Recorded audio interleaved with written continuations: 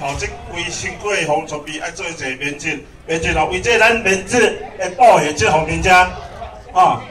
为这保险遮起来，搁一免质的袜子，免质袜子搁咱免质的迄个外裤，外裤较硬性吼，所以咧，咱咧做跑咧单顺吼，较袂去全部造成伤害。对啊，咱规身躯就是咱迄个棉质的大衣，吼，棉质的大衣，才有法度保护着咱咱这个骨裆这个部分，较咱的咱的手遮吼。再来就是，咱遮大家看者吼，